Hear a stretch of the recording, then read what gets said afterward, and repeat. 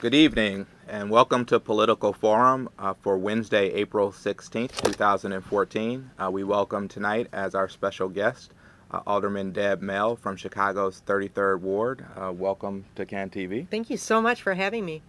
Uh, I'm Rod Joy, a board member here at CAN TV. Uh, Political Forum is a live, interactive call in program that's designed to connect you directly with your elected official. Uh, over the next 25 minutes or so, we hope you'll have an opportunity to learn more about Alderman Mell and her views on some of the most pressing opportunities and challenges facing the city of Chicago. Uh, above all, this program is about fostering a strong uh, culture of civic engagement in the city. Uh, your voice is a big component of the program. Uh, we invite you to join the conversation uh, and call in with your questions and comments for Alderman Mell. Uh, we'll try to get to that as many as possible. Uh, so feel free to join us at 312 738 1060. That's 312 738 1060. Uh, and Alderman Mell, uh, the 33rd Ward has been a big part of your life. Great, Uh, yeah. what can you tell our viewers who may not be familiar with the ward uh, about the 33rd? Well, I mean, the 33rd Ward is, uh, you know, I'm definitely partial to it, right? Because I grew up there and uh, I live only probably uh, like a mile from where I grew up. Um, so, roughly, uh, the borders are, um, as you can see there, it's Diversey on the south, and it kind of snakes over to Foster there on the north. And then we have, you know, our border on the east is Western, and then kind of the river's a border, and then Kimball, Kedzie, um, it goes up to um, uh, Central Park there on the uh, on the west. So it's basically um, Avondale, Irving Park, and Albany Park. And they're all great neighborhoods, and I'm just a huge advocate for it. And you know, we're having really great things happening in the ward. Um, we're seeing a lot of uh, interest, a lot of businesses coming in. We have a really cool uh, restaurant that's coming in. Um, so she's from uh, she's a chef from Top Chef. Her name is uh, Beverly Kim, and she's going to come in and do a great new restaurant. So there's a lot happening in the 33rd Ward, and uh, you know I encourage people to come in, eat at our restaurants. Albany Park is amazing for uh, food, and um, you know Avondale is going to have a you know a restaurant crawl, and uh, yeah, it's it's great. And then we have you know we have a great park. Horner Park is is amazing. So you know, I really encourage people to come out. And, you know, a lot of my friends like live east of Ashland. And I'm like, there's a whole nother city, you know, west of Ashland. So yeah, it's a, it's a great place. And we're doing great things. You know, we're really doing a lot of outreach um, with our website and we have our, um, our Twitter account and Facebook and, um, You're active yeah. on Twitter. Yeah, we are. We are. I have a a, a woman. Uh, she's great. She does. Uh, she's a consultant, so that's all she does for us.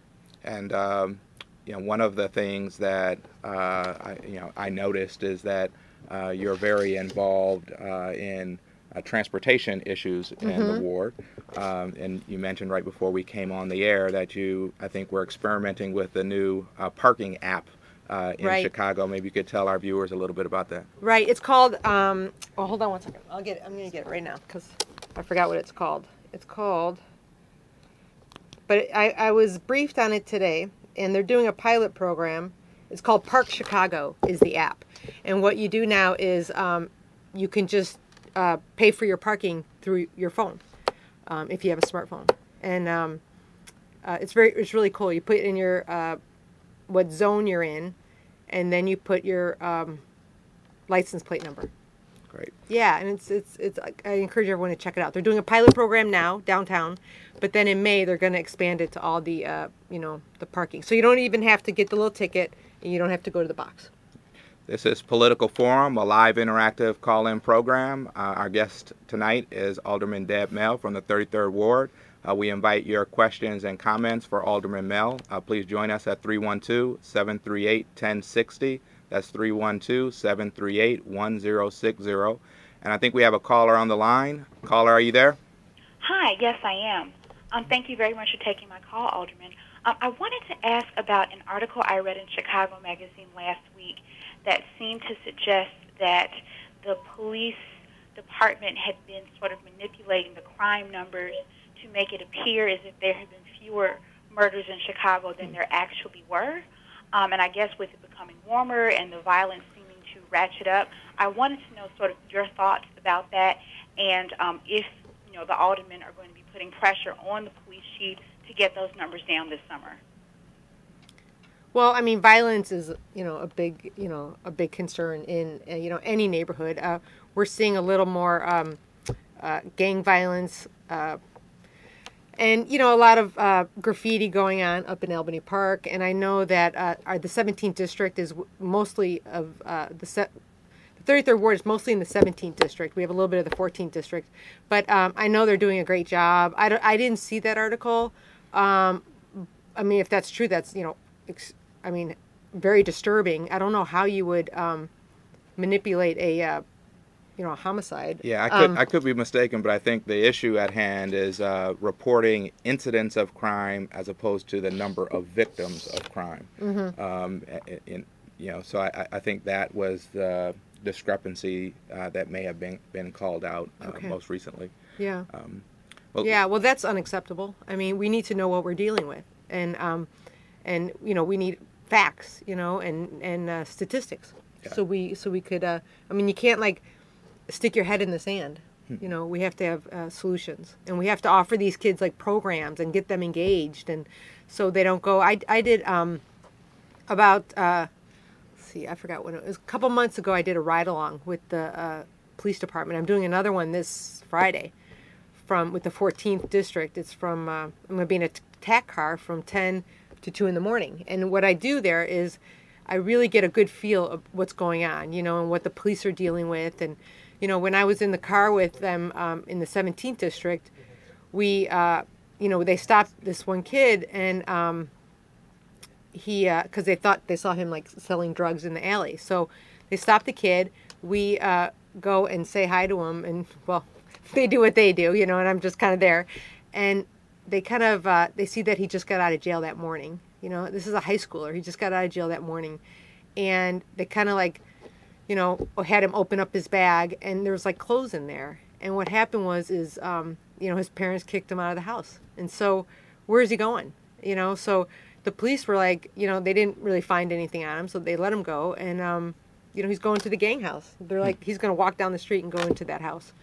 So um, you know we need to do something with our youth and, and engage them and and uh, empower them you know? Um, yeah so think we have uh, another caller on the line. Caller, are you there? Hi, uh, my question is about the plastic bag ban. I feel like I heard a lot about it, and I don't know if there's any movement towards that actually happening.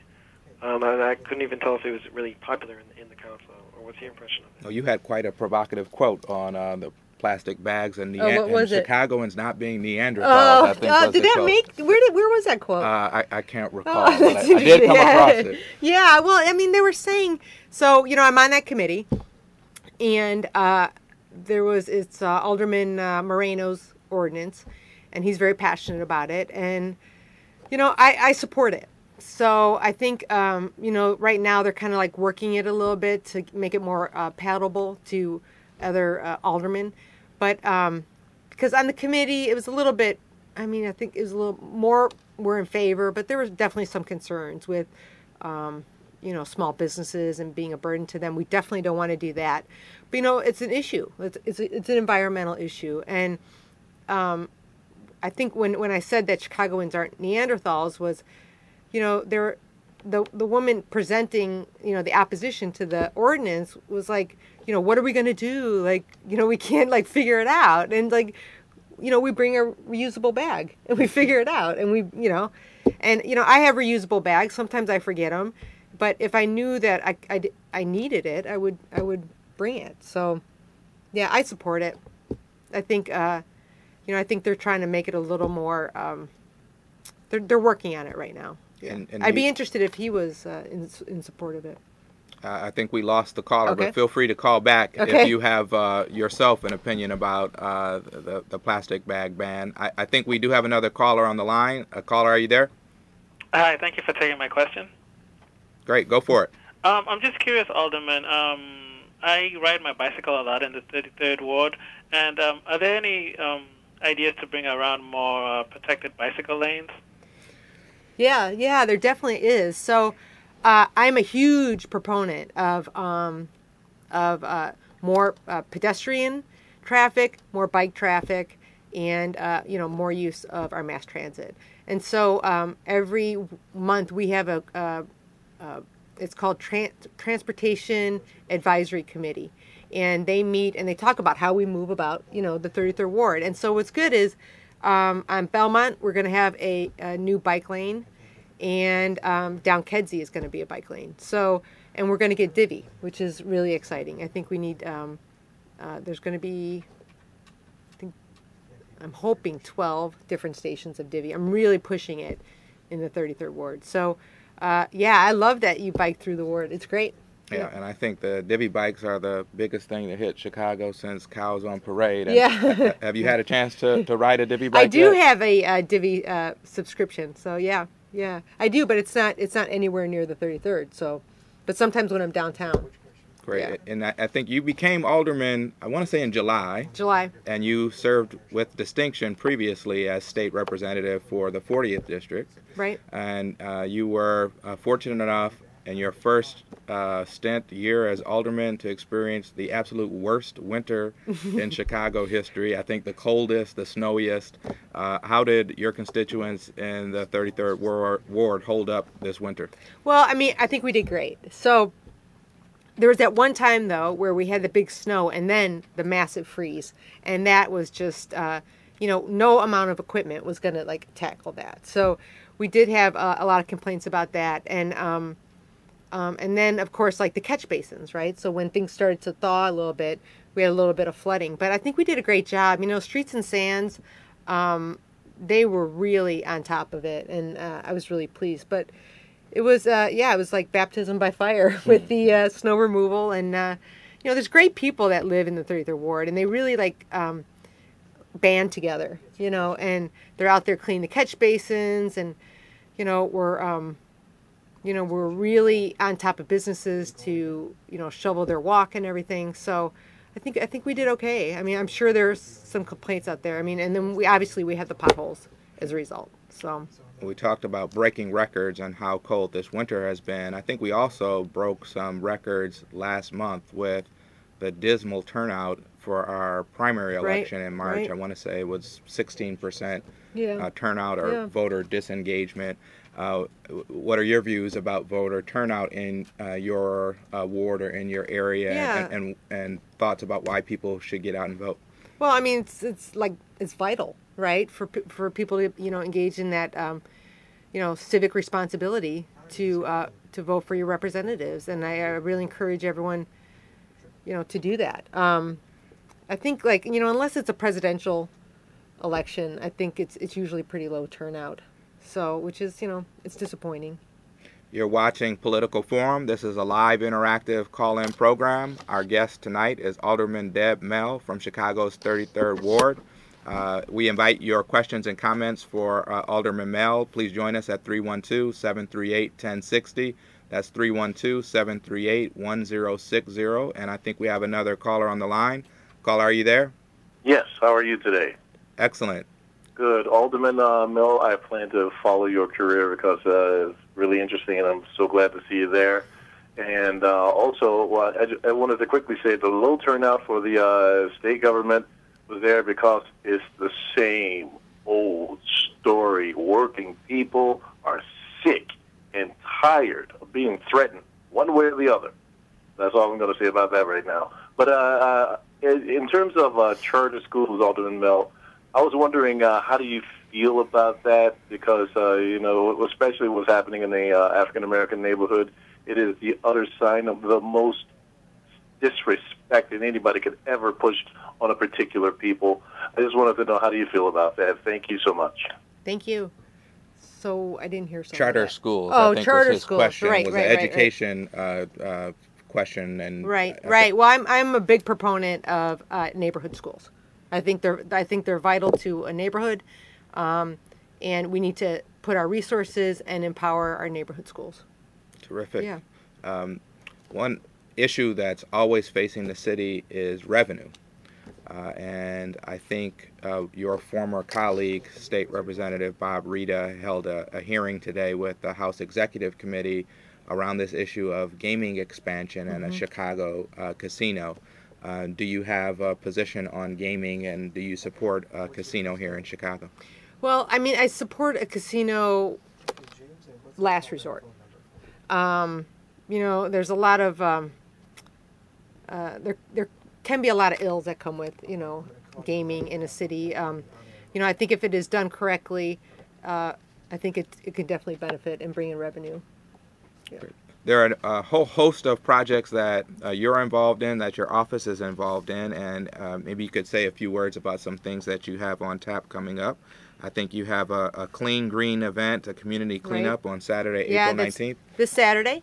Um, you know, come to the office and we'll be there, and we're going to go out and uh, you know clean up the ward a little bit. Great, and I think you're also involved in a riverfront rehab project and a, a, Right. a restoration of the riverfront in the 33rd ward. Right. So that was uh, that's an, that's an exciting project that's happening right now, and uh, you know we have Horner Park in the 33rd ward. So it's um, the eastern border of Horner Park is the river, and uh, right now it it has a fence and you can't even see the river. It's got a lot of brush and everything.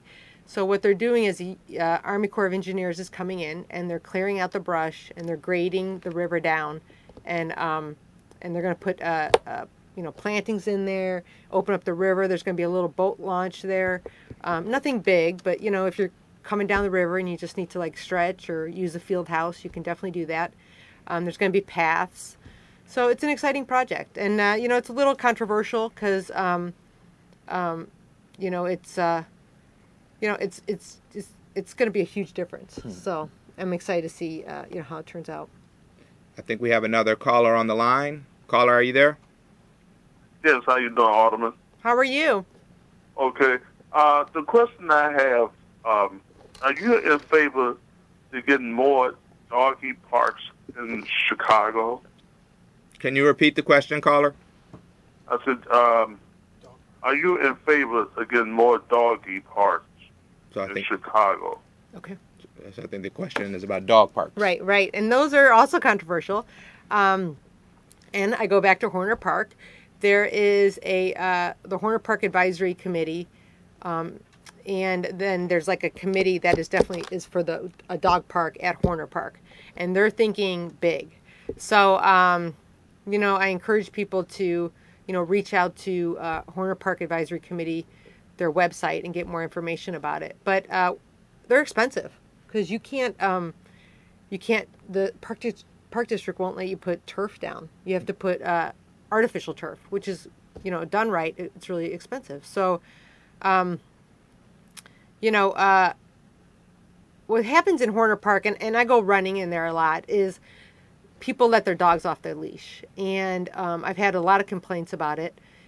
Um, and so what's interesting is like I'll go in there and I'll talk to a dog owner and I'll be like, "Are you in favor of the dog park?" And they'll say no because I think they think of it as like a tiny little concrete, you know, pad. And why would my dog want to run in there when you know?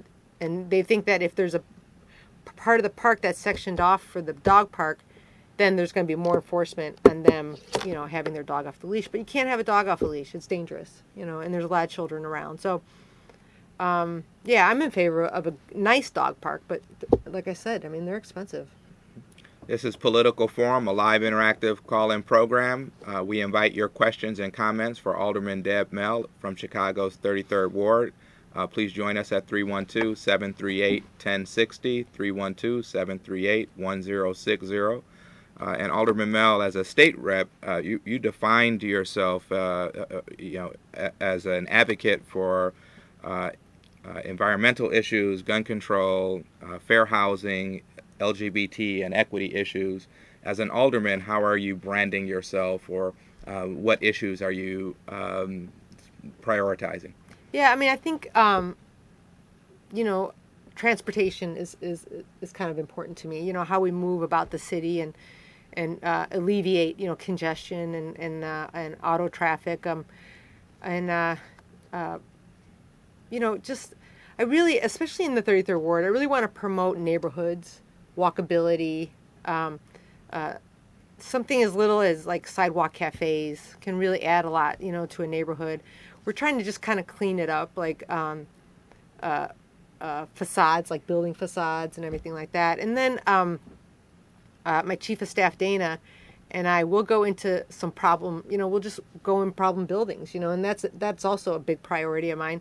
I don't think uh, I think people, regardless of income, need a safe and uh, and uh, clean building.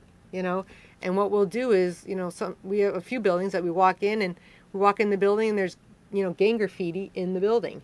And I remember one time we were walking out and this woman, um, she uh, was walking with her two children and she had uh, told me that she was an immigrant from Bosnia and that she was so happy that we were there because she doesn't feel safe there, you know, in her building. And then the landlord is like, you know, some guy in Arlington Heights, you know, who doesn't care and is taking advantage of immigrants in Albany Park. So that's another big thing that we're really. I have a uh, we have an intern, Jeff the intern, who. Um, do you know Jeff the intern? I don't know I Jeff tweet, tweet about him. but- Yeah, he uh, Jeff the intern bikes. He biked during the polar uh, whatever. Vortex. Yeah, so I mean he's he's pretty uh, intense. Dedicated. Yeah, he's dedicated. But you know he's uh, his uh, sole job is problem buildings. So we're gonna clean it up. You know, you need uh, everyone deserves you know a safe, clean building. Great. This is Political Forum, a live interactive call-in program. Uh, our guest tonight is Alderman Deb Mell from the 33rd Ward. I think we have a caller on the line. Caller, are you there? Yes, I am. Good evening. Good evening. Uh, question about uh, potholes. Um, Alderman, are you satisfied with how quickly the potholes are being filled? Number one. Number two, if a person basically a day later sees a flat tire, um, is, uh, is that person able to claim? Uh, and how does that person claim? You know, if, if, by running over potholes. Yeah, so that's that's part of the problem is that you need the documentation, like where you got the, you know, what Incident. Yeah, the incident. So, you know, it could be tricky if you uh, if you definitely get it the day later. I, I I wouldn't see how you unless it was, you know, very obvious when you when you went over the pothole. Um, but yeah, and then you know, it, it I think it takes a while to get to get the uh, reimbursement. You know, it, as far as filling the potholes, um, you know, I was watching uh, the news the other day, and you know, Boston has this problem, New York has this problem. I mean, it was a bad winter, you know, and I, I know they're out there doing their best, and um, you know, I just encourage people to slow down, and and also don't, you know, and I've done it myself where I see a pothole and I like try to like, you know, I'm like, oh my god, if like there was like a bike there or something. Um, so just really, I encourage people to just slow down and uh, you know allow extra time, and we're going to get them filled, you know, and you know, I know uh, we're doing a lot of repaving in the 33rd, so yeah. And whether it's Dana or Jeff the intern, Jeff is, the is intern. This, is this the number one issue that you're hearing from your constituents about is potholes? Yeah, um, and graffiti. Graffiti. Yeah, and you know what? Uh, gang graffiti is is uh, unacceptable because, um, you know, they talk to each other that way. So, yeah, graffiti, potholes, And tree I, trimming. Um, yeah. I, I think the city has spent upwards of 29 or 30 million dollars on uh, snow uh, plowing and pothole repairs Yeah. already.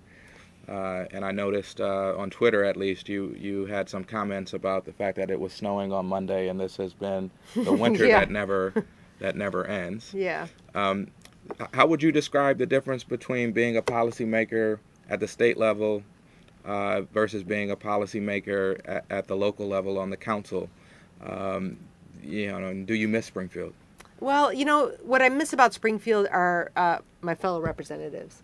There is um, a real camaraderie down there because you're all you all go to Springfield and you're you're kind of in a bubble down there, um, which is good and bad, you know. Um, and uh, you know, a lot of good ideas, you know, happen. Like city council, we meet once a month, and we're there, and then we all kind of go back to our wards, you know. And and what I think is missing in Chicago also is like you know, uh, aldermen working together and like what works in your ward. What you know, I mean, it's like we're all in our own little separate areas, and I think uh, I think the city would benefit from like um, you know a collaboration uh, with the aldermen. But uh, I don't miss the drive to Springfield, that's for sure.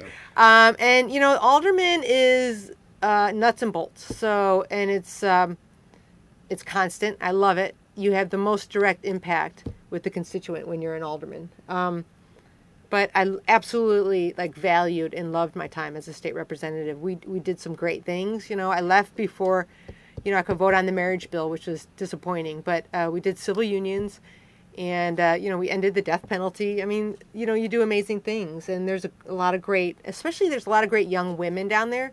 Kelly Cassidy is amazing, and Williams is great. Um, gee, I could just name a bunch. So yeah, I miss them. Well, I'm afraid we're about out of time. Uh, Alderman uh, Mell, thank you for being so thank generous you. with your time, and thank thanks you for joining us for on Political me. Forum. Uh, in order for our democracy to thrive, we need an informed and engaged citizenry. So thanks for tuning in. Uh, thanks for calling in. Thanks for and, calling. And we invite you to join us next Wednesday at 7 p.m. for the next edition of Political Forum. Thank you. Thank you.